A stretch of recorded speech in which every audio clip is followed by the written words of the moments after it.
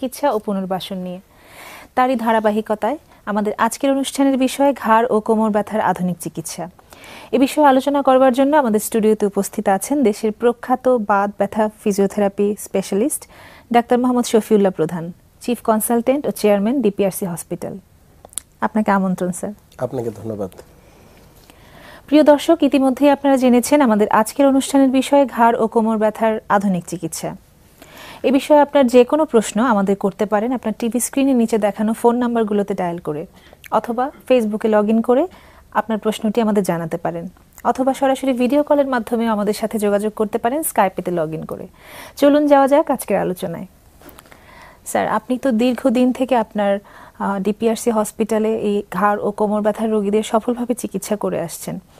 তো ফিজিওথেরাপি চিকিৎসার ক্ষেত্রে আপনাকে একজন আইকন হিসেবে ধরা হয়। তো আপনি এই আপনার প্র্যাকটিসে দেখতে পাচ্ছেন যে রোগী দিনে দিনে বেড়ে যাচ্ছে আপনি বলছিলেন। এর কারণটা কি? আসলে প্র্যাকটিসে রুগী তো বেড়ে যাওয়ার অনেক কারণ। একটা হচ্ছে আমাদের দেশে এই রুগীগুলোর সংখ্যা বেড়েই যাচ্ছে যে যেটা আমি বলছি যে প্রায় এখন মহামারী আকারে দেখা দিয়েছে। আচ্ছা, আচ্ছা। যত যেটা আমরা আগেও বলেছি যে আমরা দেখতাম যে বেশিরভাগ ক্ষেত্রে আগে বয়স্করা এই সমস্যায় ভুগতো এখন কিন্তু ইয়াং জেনারেশন এই সমস্যায় ভুগছে।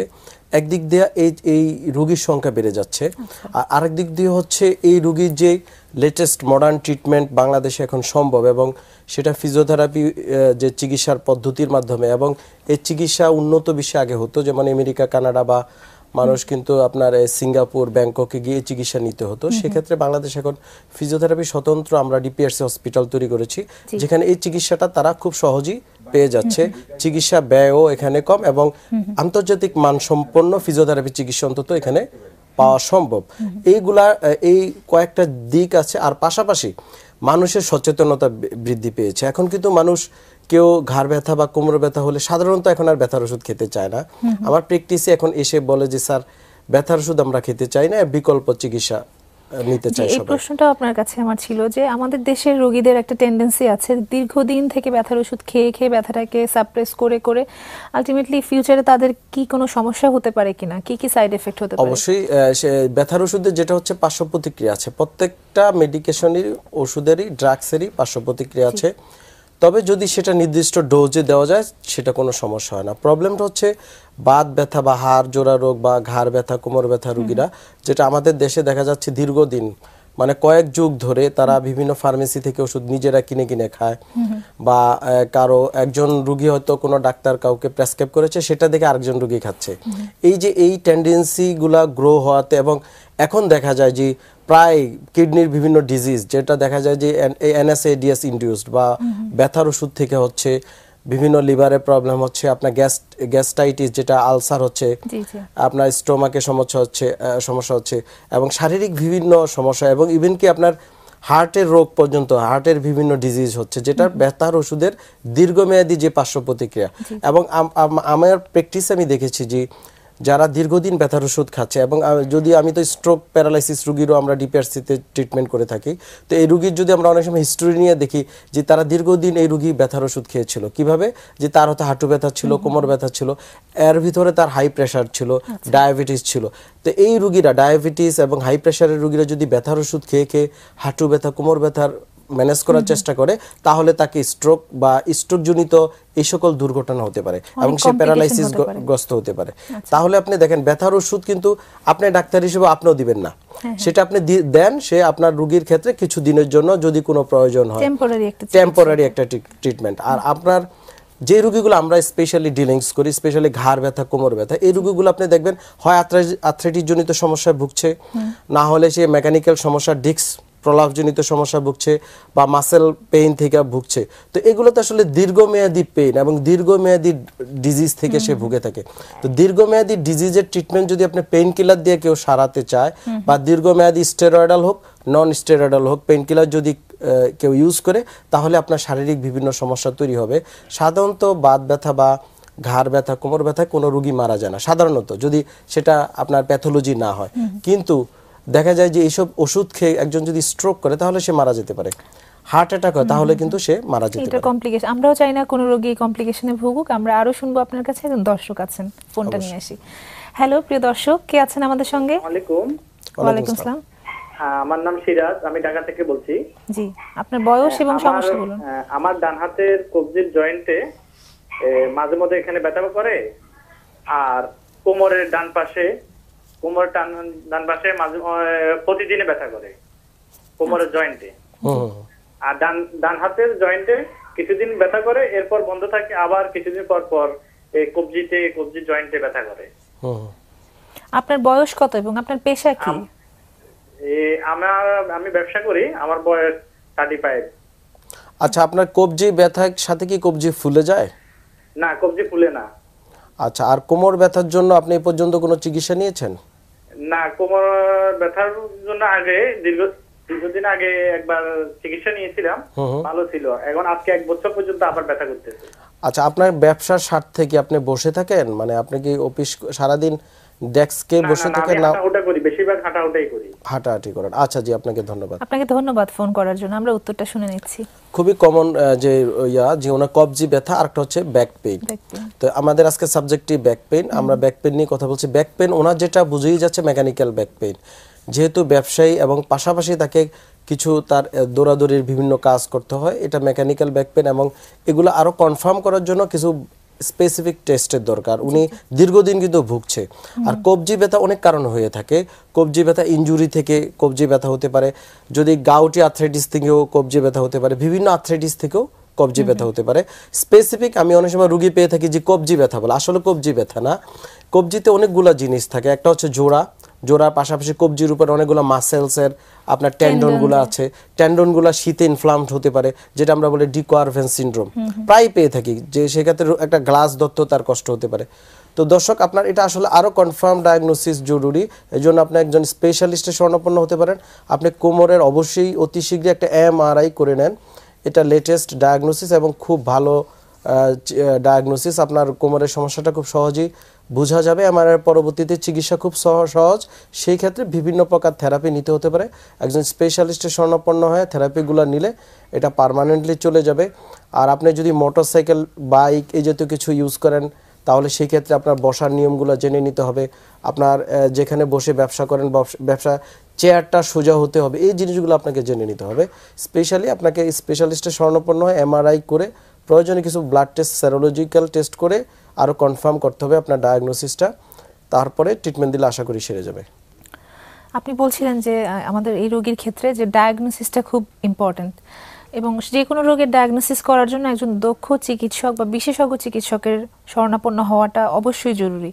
তো ফিজিওথেরাপির ক্ষেত্রে একজন দক্ষ চিকিৎসকের ভূমিকা কতটুকু আপনার মনে হয়? অবশ্যই প্রত্যেকটা চিকিৎসার পদ্ধতিতেই দক্ষতার বিশাল ব্যাপার। এখানে যেহেতু ফিজিওথেরাপির চিকিৎসকরা বেশিরভাগই আপনার ব্যথা এবং প্যারালাইসিস রোগী নিয়ে ডিলিংস করে এবং পুনর্বাসন নিয়ে কাজ করি আমরা। তো সেক্ষেত্রে প্রত্যেকটা কেসেরই স্পেশালি যেমন কোমর এবং ঘাড় ব্যথার ক্ষেত্রে আপনি যেমন আমি এমনও রোগী পেয়েছি যে আপনার কোমরে ইমপ্ল্যান্ট দেওয়া আছে অথবা আমরা অনেক সময় রোড অ্যাক্সিডেন্টের পরে হয়তো কোনো সার্জন ভিতরে কোনো ইমপ্ল্যান্ট দিয়ে দিয়েছে যেটা স্ক্রু প্লেট দেওয়া আমরা যেটা বলি। এই রুগীকে যদি আপনি শর্ট ওয়েভ দেয় শর্ট ওয়েব ফিজিওথেরাপির একটা ইকুইপমেন্ট.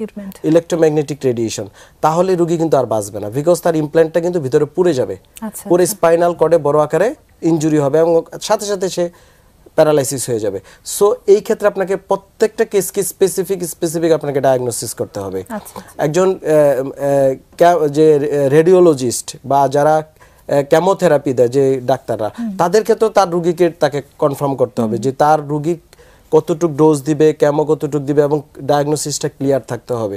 সব ক্ষেত্রে তো আপনি কেমোথেরাপি দিবেন না। তদ্রুপ সব ক্ষেত্রে আপনি ফিজিওথেরাপি দিবেন তা তো আশা করা যায় না। প্রত্যেকটা কেসকে আমরা যেটা বলি ডায়াগনোসিসটা খুব ইম্পর্টেন্ট আপনার শুরুতেই যদি কনফার্ম করা যায় এখন একটা যদি মেরুদণ্ডে কারও যদি ক্যান্সার হয় সেই ক্ষেত্রে যদি আপনি হাই ফ্রিকোয়েন্সি সাউন্ড বা ইলেকট্রোম্যাগনেটিক রেডিয়েশন ইভেন কি আপনি যদি এক্সারসাইজ করান তাহলে কিন্তু বড় আকারের দুর্ঘটনা ঘটতে পারে। বিকজ আপনি যদি ক্যান্সারের যে ইয়াটা আপনার যে মেটাস্টেসিস এই জিনিসটা কিন্তু হিট দিলে বা ছড়িয়ে পড়বে। হ্যাঁ স্প্রেড হয়ে যাবে। স্প্রেড হলে রুগী হয়তো আরও খারাপ হয়ে যেতে পারে।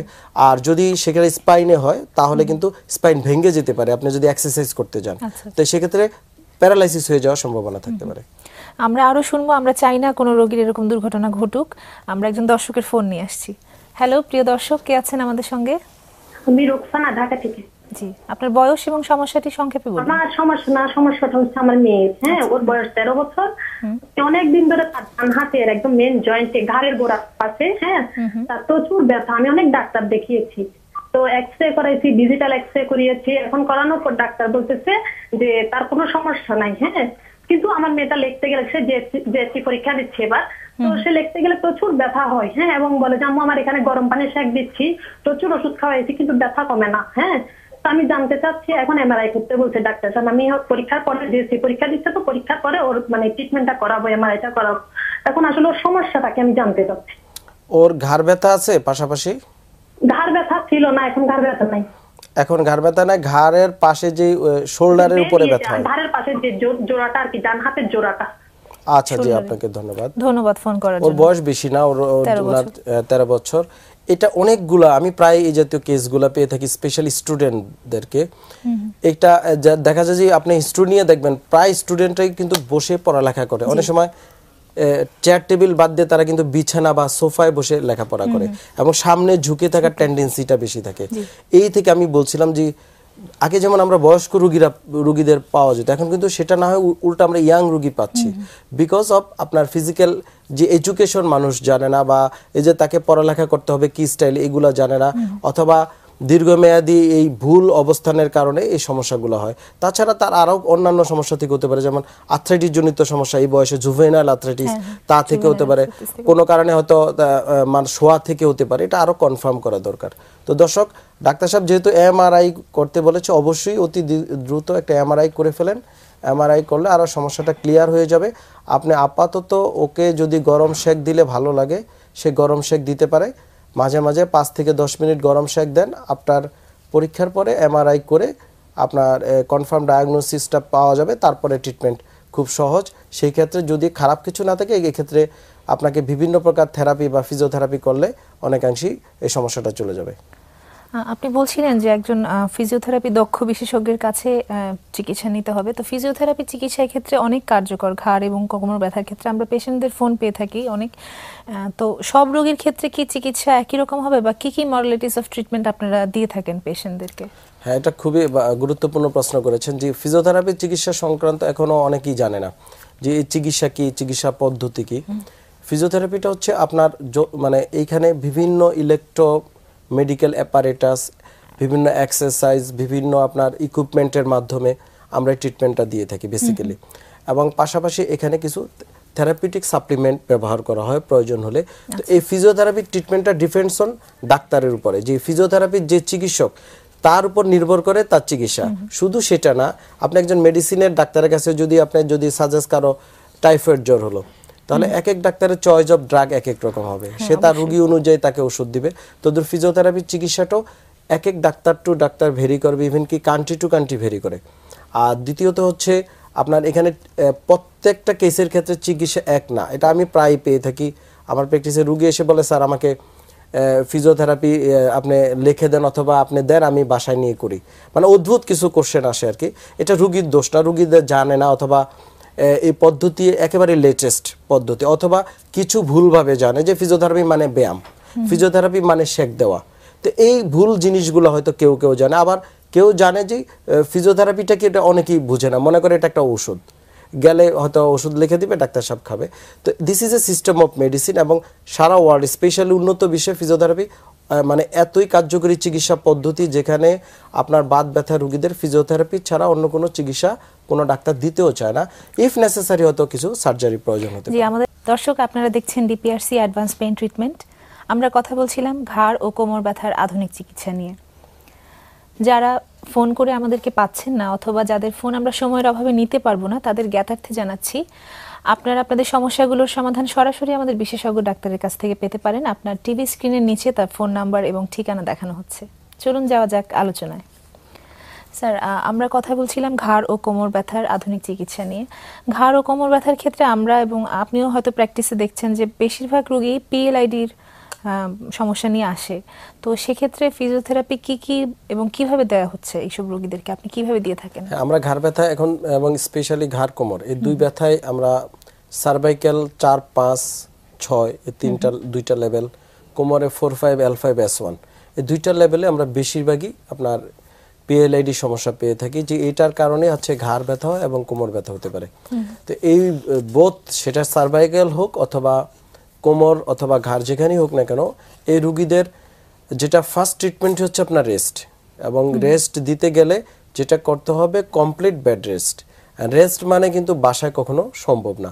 মানুষ রেস্টে যখন বাসায় যায় দেখা যায় যে পারিবারিক বিভিন্ন কাজ করতে হয় হয়তো একটা লোক কিন্তু আসলে বাসায় সারাদিন শুয়ে থাকা সম্ভব না।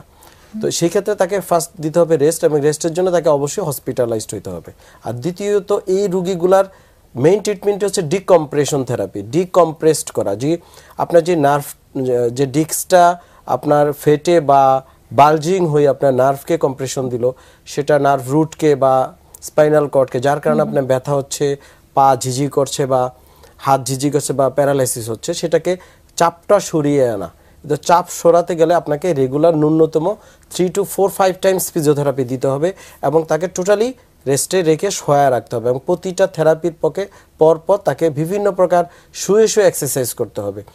আমরা যদি একটা রুগীকে বসিয়ে রাখি বা সে হাঁটা চলাফেরা করে, তাহলে তার ডিকম্প্রেশনের কোনো দাম নেই। মা ডিকম্প্রেশনের পর উল্টা আরও আপনার আরও কম্প্রেশন হতে পারে। বিকজ যদি স্পাইনাল আপনাকে মানে স্পাইনের উপর আবার প্রেসার দেওয়া হয় তাহলে কিন্তু ডিকম্প্রেশন পরে উল্টা আবার সে কম্প্রেশন করবে এবং আরও খারাপ হয়ে যেতে পারে। যেটা আমি প্রায় রুগী পেয়ে থাকি।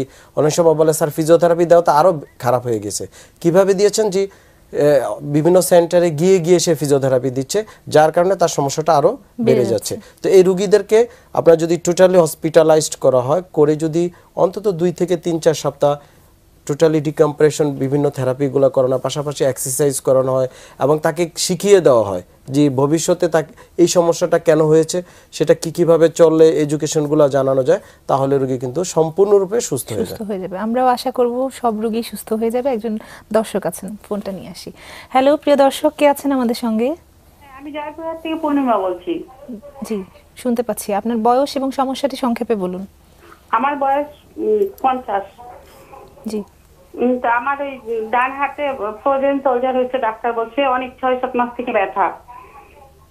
আচ্ছা। হ্যাঁ। হুম আপনার কি ডায়াবেটিস আছে? আমার ডায়াবেটিস আছে হাই প্রেসার আছে। জি। তা আপনি এখন কি চিকিৎসা নিচ্ছেন? আমি ডাক্তার কাছে গেলাম ডাক্তার বলল ফ্রোজেন সোলজার। তো থেরাপি দিতে বলল আমি থেরাপি দিলাম। দুই জায়গায় গেলাম আমার পছন্দ হলো না। এর আগে কারণ বাঁ হয়েছিল আমি দিনাজপুর ডায়াবেটিস ইয়ে নিয়েছিলাম থেরাপি নিচ্ছিলাম তো এখানে পছন্দ হলো না তো আরেকজনের কাছে গেলাম। সে আমার ঘাড়ের মধ্যে এমন করে ইলেকট্রিক শক দিয়ে দিল। জি।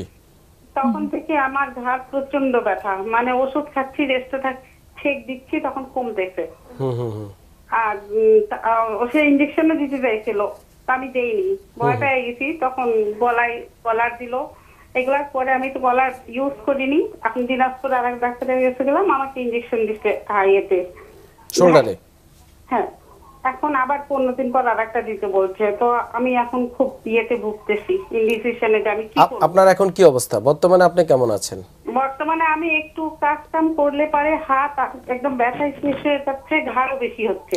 আপনার ব্যথাটা কি হাতের আঙ্গুল পর্যন্ত আসে নাকি শুধু কাঁধে শোল্ডারই থাকে? হাতের আঙ্গুল পর্যন্ত আসে আর উনি ঘাড় এমন জোরে জোরে ডলে দিছে এখন আমার ঘাড়টাও পুরো ব্যথা করে। আচ্ছা আমাদের কাছে কি জানতে চাচ্ছেন? আমি এখন কি করব? আচ্ছা জি ধন্যবাদ আপনাকে। ধন্যবাদ আপনাকে ফোন করার জন্য। দুইটা একটা হচ্ছে ওনার ফ্রোজেন শোল্ডার ডায়াগনোসিস করেছে ডাক্তার সাহেব। জি। সেটা কনফার্ম এবং তা ওনার কথাও বোঝা যাচ্ছে উনি ফ্রোজেন শোল্ডারের রোগী ছিল। দ্বিতীয়ত আরেকটা হচ্ছে ভুল ফিজিওথেরাপির কারণে যেটা হয় যেমন ওনার ঘাড়ে এমন জোরে কিছু একটা করেছে আমরা অনেক সময় মেনুপুলেট করে থাকি। ম্যানিপুলেশন যদি কারও দক্ষ হাতে না হয় এবং একজন ফিজিওথেরাপিস্টকে ন্যূনতম দশ পনেরো বছর এই ম্যানিপুলেশনের উপর ট্রেনিং নিতে হবে তারপরে সে দক্ষতার সাথে ম্যানিপুলেট করতে পারবে। তো সেক্ষেত্রে যদি কেউ উল্টা ম্যানিপুলেট করতে গিয়ে একটা রুগীর আরও খা- খারাপ করে দেয় ওনার কিন্তু তাই হয়েছে যে এখন ঘাড়ে হয়তো ডিক্সে সমস্যা হয়েছে। তো দর্শক, আপনার ভয় পাওয়ার কোনো কারণে আপনার ঘাড়ের একটা এমআরআই করে দেখেন দ্রুত। এমআরআই যদি ডিক্সের সমস্যা থাকে, আপনার ফ্রোজেন শোল্ডারের যে থেরাপিগুলো, সেগুলো আপাতত বন্ধ রেখে ঘাড়ের চিকিৎসাটা করা জরুরি। আর আপনি ঘাড়ের যে কলারটা ইউজ করছেন, কলারটা ইউজ করেন, মাথার নিচে পাতলা একটা বালিশ দিবেন, আপাতত ভারী কাজ করা থেকে বিরত থাকেন। আপনি ঘাড়ের চিকিৎসাটা কনফার্ম করার পর, ফ্রোজেন শোল্ডারের ট্রিটমেন্ট খুব ইজি এই ক্ষেত্রে আপনি কিছু এক্সারসাইজ এবং পাশাপাশি কিছু ইলেকট্রোথেরাপি সঠিক জায়গায় সঠিক চিকিৎসকের মাধ্যমে যদি নিতে পারেন টোটালি এটা সেরে যাবে। আপনি আগে ঘাড়ের একটা এমআরআই করে চিকিৎসা নেন, তারপরে আপনি ফ্রোজেন শোল্ডারের চিকিৎসা যান। আপনি বলছিলেন যে ফিজিওথেরাপি দেওয়ার পরপর একটা পেশেন্টকে হসপিটালাইজেশনের অবশ্যই করতে হবে এবং সেক্ষেত্রে অনেক দিন থেকে হয়তো হসপিটালাইজ থাকতে হতে পারে পেশেন্টকে সেক্ষেত্রে চিকিৎসা ব্যয়টা কেমন হতে পারে? হ্যাঁ এটা একটা ইস্যু আসলে চিকিৎসা নিলেই হবে না। একটা রুগী সব রুগীর দ্বারা সব চিকিৎসা নেওয়া সম্ভব হয় না। এক এক লেভেলের রুগী আছে আর্থিক ব্যাপারটা এখানে জড়িত। যেহেতু ফিজিওথেরাপির রুগীদেরকে যদি হসপিটালাইজড করতে এখানে রেগুলার ন্যূনতম চারবার ফিজিওথেরাপির একটা চার্জ আসে। পাশাপাশি হসপিটালাইজডের যে কেভিন ভাড়া ডক্টর ভিজিট আনুষঙ্গিক কিছু খাবার খরচ টরচ এটা আসে। তো দেখা যায় মোটামুটি একটা ভালো। অ্যামাউন্টের টাকা আসে। এটা খুবই একটা ইম্পর্টেন্ট বলেছেন। কিন্তু আমরা কিন্তু সব রুগীকে হসপিটালাইজড করতে বলি না। সাজেস ওনার ফ্রোজেন শোল্ডার হয়েছে। ফ্রোজেন শোল্ডার রুগীর কোনো হসপিটালাইজডের প্রয়োজন। নেই। কিন্তু ওনার ফ্রোজেন শোল্ডারের পাশাপাশি আরেকটা প্রবলেম কিন্তু আছে যেটা উনি এখন বলছে ঘাড়ের সমস্যা এবং হাতের আঙ্গুল পর্যন্ত ব্যথাটা চলে যায়। সেটা হচ্ছে ঘাড়ের ডিস্ক ডিস্কের সমস্যা। তো ডিস্কের সমস্যার জন্য রুগীকে হসপিটালাইজড করতে হবে। আর আরেকটা জিনিস হচ্ছে আপনার যদি এখনও আপাতত দৃষ্টিতে হসপিটালাইজড করে যে ব্যয়টা আসবে সেটা যদি রুগী ভালো হয়ে যায় সেটা যদি না করে আপনার ব্যয় কমানোর চেষ্টা করে অথবা ওষুধ খেয়ে খেয়ে যে পার্শ্ব প্রতিক্রিয়া হবে সেটা ব্যয় কিন্তু আরও খারাপ। আরও বেশি হবে। আর দ্বিতীয়ত এই রুগী যদি সঠিক ফিজিওথেরাপি না পায় তাহলে রুগীকে এক পর্যায়ে সার্জারি করতে হবে। সেটা আজ হোক পঙ্গুত্ব বরণ করতে হতে বরণ পারে। করতে হতে পারে। সে আর তার সে টোটালি ডিজেবল হয়ে যেতে পারে অথবা আরেকজনের উপর নির্ভরশীল হয়ে যেতে পারে এবং তার ইকোনমিক্যাল যে সে যে আয় রোজগার করবে সেটাও বন্ধ হয়ে যাবে। কিন্তু বাংলাদেশে ফিজিওথেরাপি চিকিৎসা ব্যয় অন্য দেশের তুলনায় অনেক কম। অনেক কম। একজন দর্শক আছেন আমাদের সঙ্গে ফোন হ্যালো প্রিয় দর্শক কে আছেন আমাদের সঙ্গে?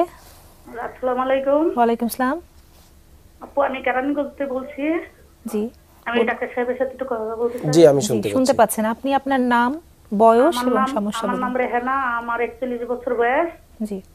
আমার এই মাথায় ব্যথা পেয়েছিলাম আর কি। হুম। এখন ব্যথা পর থেকে আর পাঁচ ছয় বছরের ব্যথাটা পাইছি। এখন আমি অনেক চিকিৎসা করতে আছি। হুম। এখন আমার ওই ডাইন পায়ের এই যে মুড়াটা আছে না ওইটা ফুলে গেছে। মানে আমি যে এমআই করছি অনেক চিকিৎসা করতেছি বাংলাদেশ মেডিকেল থেকে।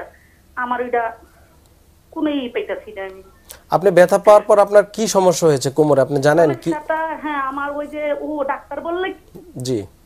ডাক্তার বললে আমাকে যে ওই বলুন শুনতে পাচ্ছি। ডাক্তার বলতেছে যে আমার ওই ডান দিকে কোমরে হুম। হাড্ডি থেকে একটু মাংসটা লড়ে গেছে। বেড়ে হয়ে গেছে জি। আচ্ছা এতদিন আপনি তাহলে কি চিকিৎসা নিচ্ছেন? এই যে দীর্ঘদিন চিকিৎসা নিচ্ছেন চিকিৎসা মানে আপনি কি করছেন? কি কি চিকিৎসা নিচ্ছেন? ওষুধ খাচ্ছেন না অপারেশন করেছেন? আমাকে বলুন। শুনতে পাচ্ছি বলুন। কোনো অপারেশনের কথা আমার বলে নাই। আমার শুধু ওই আমার দিছে যা যা চিকিৎসা দিছে সে দিয়ে ওই ডাক্তার যা যা বলছে সেটা সেটাই আমি করছি। আমি সেটাই জানতে চাচ্ছি আপনি কি চিকিৎসা নিচ্ছেন? আপনি কি ওষুধ খাচ্ছেন? হ্যাঁ ওষুধ খাচ্ছি হ্যাঁ। এছাড়া আর কি করছেন? শুধু ওষুধই খাচ্ছি আমি। আচ্ছা জি আচ্ছা ধন্যবাদ ধন্যবাদ আমরা বুঝতে পেরেছি। ডায়াগনোসিসটা খুব ক্লিয়ার যেটা আমরা আমি বলেছি যে ব্যাক পেইনের বা কোমরের সমস্যা ইনজুরি থেকে হতে পারে। জি। যে উনি আঘাত পেয়েছিল তার থেকে যে ওনার ভাষা যে ডাক্তার সভাতে বুঝিয়েছে অনেক সময় রুগীর আমি প্র্যাকটিসও দেখা যায় যে কিছু রুগী বলে স্যার একজন বলেছে হাড় বেড়ে গে- গিয়েছে আরেক ডাক্তার বলেছে রগে চাপ খেয়ে আছে আরেকজন বলেছে ওখানে হাড়টা ফেটে গিয়েছে। অল আর সেম থিংস মানে এটা যদি আমরা ডাক্তারি ভাষায় বলি পিএলআইডি তো পিএলআইডি হচ্ছে নার্ভ রুট কম্প্রেশন বা নার্ভ কম্প্রেশন তা থেকে ওনার পায়ে ব্যথা যায়। তো এটার একমাত্র ট্রিটমেন্টই হচ্ছে আপনাকে ডিকম্প্রেশন থেরাপি করতে হবে এবং উইথ হসপিটালাইজেশন তো দর্শক, আপনার যেভাবে চিকিৎসা নিচ্ছেন, সে একই কথা ঘুরে ফিরে যে painkiller painkiller painkiller ব্যথার ওষুধ, এই রোগের কোনো চিকিৎসা না। আপনাকে হসপিটালাইজড হয়ে ডিকম্প্রেশন থেরাপি করাতে হবে। আর যদি সেটা কোনোভাবে না হয় অথবা আরও বেশি খারাপ হয়ে যান, আপনাকে সার্জারিতে যেতে হবে। আমি আশা করি আপনি বুঝতে পেরেছেন, এই দুইটা চিকিৎসা ছাড়া যত চিকিৎসা পেইন কিলার বা আপনি মলম মালিশ করা শেক দেওয়া আপনার এক বিভিন্ন মেসেজ করা, সম্পূর্ণরূপে আপনার ভুল চিকিৎসা। প্রিয় দর্শক, আপনারা দেখছেন ডিপিআরসি অ্যাডভান্স পেইন ট্রিটমেন্ট আমরা কথা বলছিলাম ঘাড় ও কোমর ব্যথার আধুনিক চিকিৎসা নিয়ে ডাক্তার মোহাম্মদ শফিউল্লাহ প্রধানের সঙ্গে। চলুন যাওয়া যাক আলোচনায়। স্যার বিরতিতে যাওয়ার আগে একজন দর্শক বলছিলেন যে তেল মালিশ করা বা শেক দেওয়া থেকে কি কি ওনার অনেক প্রবলেম হয়েছে। তো আপনি একজন দক্ষ ফিজিওথেরাপিস্ট হিসেবে আপনি কি পরামর্শ দেবেন? বা এগুলো কি আসলে কতটা বিজ্ঞানসম্মত? অবশ্যই বিজ্ঞানসম্মত না। অনেক সময় আমরা কিছু রুগী যেমন আমিও একটু আগে লাইভে এক রুগীকে বলেছি যে মেয়েকে গরম শেক দিতে। যেহেতু আমি তার সিমটমগুলো শুনে বুঝতে পেরেছি যে গরম শেক দেওয়া যাবে সেহেতু বলেছি। কিন্তু কিছু কিছু ক্ষেত্রে দেখা যায় অনেক রুগী নিজে নিজে গরম শেক দেয় বা নিজে নিজে বিভিন্ন শেক দেয় মালিশ করে বিভিন্ন মেসেজ করায় অথবা বাচ্চাদের দিয়ে তারা মানে উঠে পাড়ায় বিভিন্ন রকম অপচিকিৎসা করে দড়ি দিয়ে বেঁধে রাখে এবং দেখা যায় এখনও গ্রামগঞ্জে আমাদের দেশে কিন্তু বিভিন্ন ওঝা বৌদ্ধের কাছে রুগীরে এইসব রুগীকে নিয়ে যায়। দেখা যায় যে ব্যথা হয়তো ঘাড় ব্যথা হচ্ছে বা হাতে ব্যথা হচ্ছে বলেছে যে তার এখানে ভূতে ধরেছে বা এই জাতীয় অপচিকিৎসা করে এবং দেখা যায় বিভিন্ন জিনিস দিয়ে তারা বিভিন্ন আপনার আহ, পিটে পিটিয়ে থাকে ঝাড়ফুঁক করে থাকে। এতে কি হয়? শারীরিক আরও সে ডিটেরিয়েট করে এবং একটা রুগীটা আরও বেশি খারাপ হয়। অনেক সময় যদি কেউ মেসেজ করে হয়তো সাময়িক তার ভালো লাগতে পারে। সেটা মেসেজের একটা সুথিং ইফেক্ট আছে সেটা হতে পারে। কিন্তু ইনডাইরেক্টলি তার যে অ্যানাটমি বডি যে হিউম্যান অ্যানাটমি সম্পর্কে ওই লোকের কোনো আইডিয়া নেই। সে কিন্তু বিভিন্ন নার্ভ মাসেলস ইভেন কি হাড় বা জয়েন্টকে সে ডেস্ট্রয় বা ধ্বংস করে দিতে পারে। ডিসলোকেশন হয়ে যেতে পারে। হয়ে যেতে পারে এবং এক পর্যায়ে পঙ্গুত্ব বরণ করতে পারে এবং আমরা এই যাতে প্রায় রোগী পেয়ে থাকি। বিভিন্ন অপচিকিৎসার কারণে দেখা যায় যে একটা হাত প্যারালাইসিস হয়ে গেছে বা পা প্যারালাইসিস বা একটা কোয়াড্রি প্যারালাইসিস চার হাত পা অবশ। অনেক সময় সেলুনে গিয়ে মেসেজ করে। মেসেজ করার পর কিন্তু রুগী চার হাত পা অবশ হয়ে যেতে পারে যদি ইনজুরি হয়। আঙ্গুল অনেক সময় রুগী পাই আমরা যে আঙ্গুল বেঁকে গিয়েছে। যদি জিজ্ঞেস করি কীভাবে হলো? যে আমি দীর্ঘদিন তার কাজের মেয়ে দিয়ে বা বুয়াকে দিয়ে সে আঙ্গুলে ফুটায় বা বিভিন্ন মেসেজ করায়। যার কারণে জোড়াগুলো টোটালি আপনার সেকেন্ডারি আমরা অস্টিওআর্থ্রাইটিসগুলো পেয়ে থাকি। এরকম। মানে একটা হচ্ছে আমাদের শারীরিক চলাফেরা উঠা বসা তো বিভিন্ন ডিজিজ হচ্ছে রোগীদের।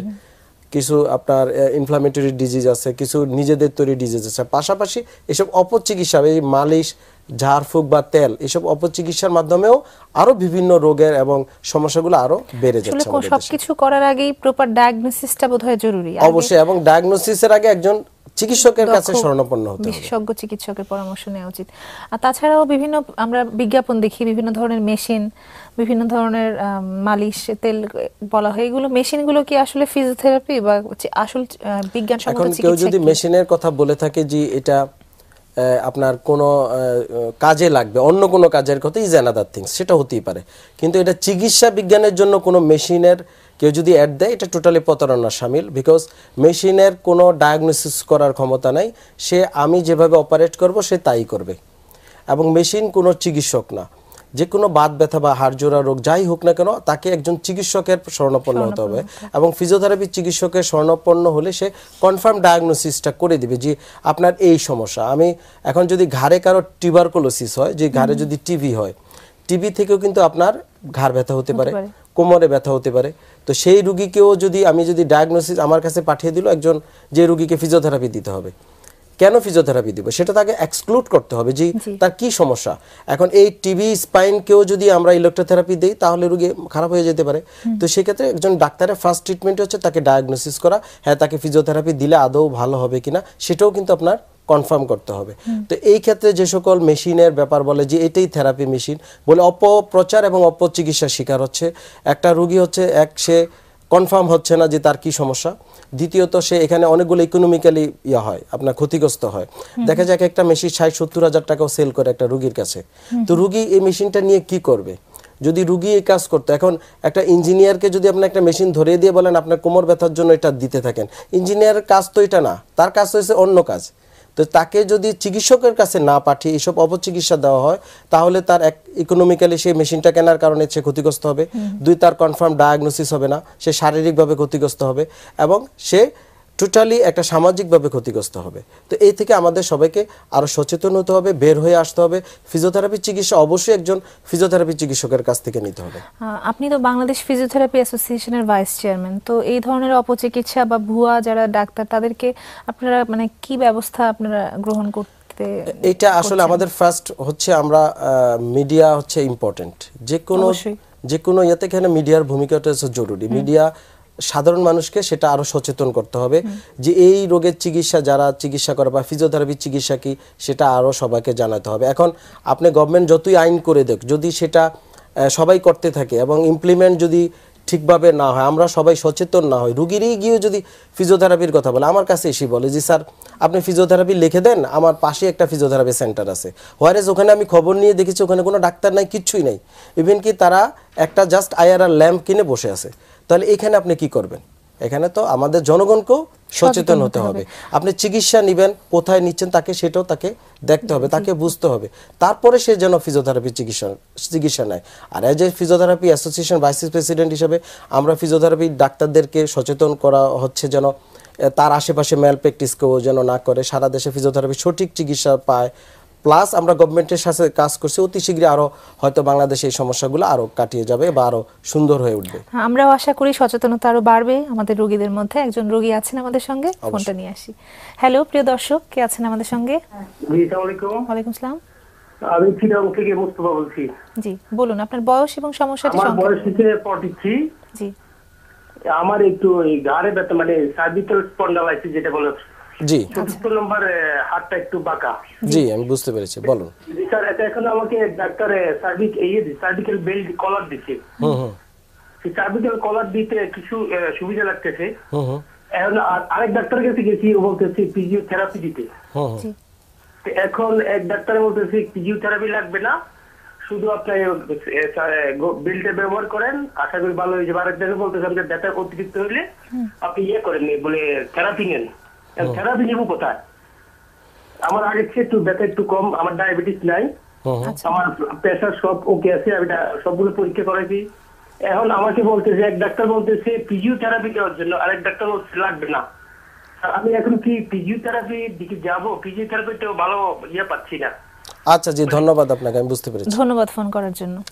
ওনার হচ্ছে সার্ভাইকেল স্পন্ডাইলোসিস এটা সাধারণত হাড় ক্ষয় রোগ আমরা যেটা বলে থাকি। তো দর্শক, আপনার এটার ক্ষেত্রে ডাক্তার সাহেব যে কলারটা দিয়েছে, সেটা আপনি কিন্তু দীর্ঘমেয়াদী ইউজ করা যাবে না। কলারটা আমরা দেই, সেটা সাময়িক বিকজ আপনার মেরুদণ্ডের যে ঘাড়ের হাড়ে সেখানে ইনফ্লামেশন হয়েছে এবং হাড় ক্ষয় হয়েছে। সাময়িক রেস্ট দেওয়ার উদ্দেশ্য যেন ওখানে ইনফ্লামেশনটা সাবসাইড হয়। সেটা আপনি হয়তো দুই থেকে তিন, চার সপ্তাহ ম্যাক্সিমাম ইউজ করতে পারেন। আর কলার ব্যবহারের কিছু নিয়মকানুন আছে। সেটা হচ্ছে কলার অবশ্যই শো অবস্থায় ব্যবহার করা যাবে না। সেটা যদি আপনি বের হন, বাইরে ঘুরতে যান অফিসিয়াল কাজে যান চলাফেরায় কলার ইউজ করতে হবে। আর হ্যাঁ এই সময়ের ভিতরে আপনাকে ফিজিও ফিজিওথেরাপি চিকিৎসা নিয়ে সম্পূর্ণরূপে ভালো হয়ে যেতে হবে। বিকজ সার্ভাইকাল স্পন্ডাইলোসিসে যে ইনফ্লামেশনটা হয়, সেটা বিভিন্ন থেরাপির মাধ্যমে ইনফ্লামেশনটা সাবসাইড করা যায়। পাশাপাশি ঘাড়ে যে মাসেলগুলা আপনার দুর্বল হয়ে যায়, সেটাকে এক্সারসাইজের মাধ্যমে স্ট্যান্ডেন করতে হবে। তা আপনি, আপনার যদি সম্ভব হয়, আপনার ওদিকে ফিজিওথেরাপি ভালো চিকিৎসকের শরণাপন্ন হয় ফিজিওথেরাপি নেন। আশা করি এটা সম্পূর্ণরূপে সেরে যাবে।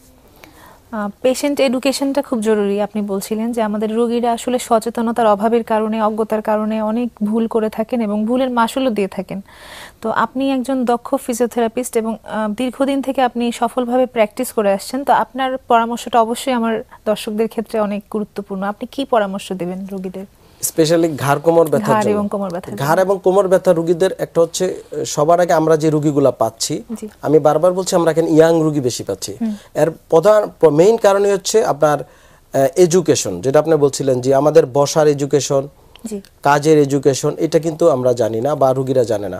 যে বসার ক্ষেত্রে প্রত্যেকটা মানুষ যেন এক ঘণ্টার বেশি এক জায়গায় বসে না থাকে। সেটা দাঁড়িয়ে থাকার কাজ হোক অথবা বসে থাকার কাজ হোক সেটা নিচে বসার কাজ হোক অথবা চেয়ারে বসার কাজ হোক যেমন একজন ব্যাংকার সে কিন্তু ব্যাংকে ডেস্ক জব করছে অথবা একজন অফিস যে কোনো অফিসের লোক অথবা একজন বিজনেসম্যান তার ব্যবসার সাথে সে বসে আছে। সেই জন্য এক ঘণ্টা পর পর তার অবস্থানটা চেঞ্জ করে। নাম্বার ওয়ান আর নাম্বার টু হচ্ছে এই ব্যথা বেদনা যেটি হোক না কেন, কোমর ব্যথা রোগীদের ক্ষেত্রে দ্রুত একজন স্পেশালিস্টের স্বর্ণপন্ন যেন তারা হয়। প্রায় আমি দেখি যে ব্যথার ওষুধ খেয়ে খেয়ে এটা ম্যানেজ করার চেষ্টা করে, হয়তো সময় বাঁচানোর চেষ্টা করে, অথবা আমরা সবাই ব্যস্ত। রুগী অবশ্যই ব্যস্ত তার ব্যবসায়িক কাজে ব্যস্ত ব্যস্ত ব্যস্ত তো থাকতেই হবে। কিন্তু যেই কাজের জন্য আপনি ব্যস্ত আপনার যে শরীরের জন্য ব্যস্ত সেটা যদি আপনি নিজের শরীরকে নিজে গ্রাহ্য না করেন বা নিজের রোগকে অবহেলা করেন এতে কিন্তু আপনার এই ব্যস্ততা কোনো কাজে আসবে না বিকজ আপনি শারীরিকভাবে বিভিন্ন সমস্যা পড়ে যাবেন এক পর্যায়ে কাজও আর সে করতে পারবে না। আর আর ঘাড় পরামর্শগুলো আমরা আরও শুনব কারণ এটা খুবই গুরুত্বপূর্ণ আমরা শেষে শুনব এটা। একজন দর্শকের ফোনটা খুব সংক্ষেপে নিয়ে আসি। হ্যালো প্রিয় দর্শক কে আছেন আমাদের সঙ্গে? হ্যালো আসসালামু আলাইকুম। আমি ফারজানা। জি আপনার বয়স এবং সমস্যাটি সংক্ষেপে বলুন। জি আমার বয়স হচ্ছে থার্টি সিক্স আমার ব্যথা হচ্ছে কোমর থেকে ডান পা। জি। আমি এ পর্যন্ত দুইটা ডাক্তার দেখাইছি। একজন অপারেশনের কথা বলেছে আর একজন এক মাসের ট্রিটমেন্ট দিয়ে তারপর বলেছে ইনজেকশন দিতে। হ্যাঁ তো দুইটার একটাও আমি করাইনি আমি এখনও চিন্তার মধ্যে আছি কি করব। আপনি কি এমআরআই করেছিলেন কোমরের? জি জি। আচ্ছা কি সমস্যা? ওটা আহ, কোমরে কোন লেভেলের সমস্যা আপনি জানেন? জি জি কোমরে একদম লাস্টে ডিস্কের সমস্যা। আর ডান পাটা ফুলে যায় ডান পার গোড়ালি ব্যথা করে। জি, আর আমরা- দুইটা বাচ্চা খুব ছোট ওদের আমি ঠিক নার্সিং করতে পারছি ঠিক আছে আমরা বুঝতে পেরেছি দর্শক আমরা উত্তরটা নিয়ে ধন্যবাদ ফোন করার জন্য। আচ্ছা যে আমি উত্তর দিচ্ছি। ওনার ডিক্স প্রলাপস একই যেটা আমরা বারবার বলছিলাম। তো এই এই রোগীর ক্ষেত্রে এই সব ক্ষেত্রে দর্শক আহ, শুরুতে যেটা করতে হবে আপনার ডিকম্প্রেশন থেরাপি যদি হসপিটালাইজড হয়ে সেটা করানো যায়, আশা করি অপারেশন থেকে আপনি বেঁচে যাবেন অপারেশন করতে হবে না। অপারেশন হচ্ছে লাস্ট চয়েস আপনি ডিকম্প্রেশন থেরাপি সঠিক জায়গায় নেন আশা করি এটা সেরে যাবে। জি আমরা একদম শেষ মুহূর্তে আপনার পরামর্শ দিচ্ছিলেন রোগীদের জি অবশ্যই। ঘাড় ব্যথা রোগীর পরামর্শ আমি বলতে চেয়েছিলাম যেটা হচ্ছে যেন কেউ ঘাড়ে কোনো মেসেজ না করে যে কোনো জায়গায় গিয়ে সেটা থেকে অ্যাভয়েড করতে হবে নাম্বার ওয়ান নাম্বার টু হচ্ছে শোয়ার ক্ষেত্রে বালিশটা সবাই কিন্তু দুইটা বালিশ ব্যবহার করার চেষ্টা করে প্রায় আমরা পেয়ে থাকি। একটা পাতলা বালিশ ব্যবহার করবে কম্পিউটিং ব্যবহারের ক্ষেত্রে এক নাগারে এক ঘণ্টার বেশি যেন কম্পিউটিং না করে সে বারবার অবস্থান চেঞ্জ করে এতে এই রুগীগুলো অনেকাংশে ইয়াং রুগীদের সমস্যা কমে যাবে এবং রুগীরা ভালো থাকবে। জি আপনাকে অনেক ধন্যবাদ। আশা করি আমার রোগী অনেক উপ- উপকৃত হচ্ছে আপনার এই আলোচনার মাধ্যমে। ধন্যবাদ। আপনাকে অনেক ধন্যবাদ। অ্যাসি টেলিভিশনকে অসংখ্য ধন্যবাদ। প্রিয় দর্শক আপনারা দেখছিলেন ডিপিআরসি অ্যাডভান্স পেইন ট্রিটমেন্ট আমরা কথা বললাম ঘাড় ও কোমর ব্যথার আধুনিক চিকিৎসা নিয়ে। আশা করি আপনাদের প্রাত্যহিক জীবনে আমাদের এই পরামর্শগুলো কাজে লাগবে। যারা অনুষ্ঠানটি দেখতে পারেননি, তাদের জ্ঞাতার্থে জানাচ্ছি, আমাদের অনুষ্ঠানটি পুনঃপ্রচারিত হবে বৃহস্পতিবার রাত দুটায়। দেখার আমন্ত্রণ রইল।